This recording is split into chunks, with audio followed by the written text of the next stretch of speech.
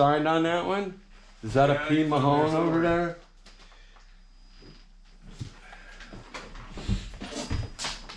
It was you.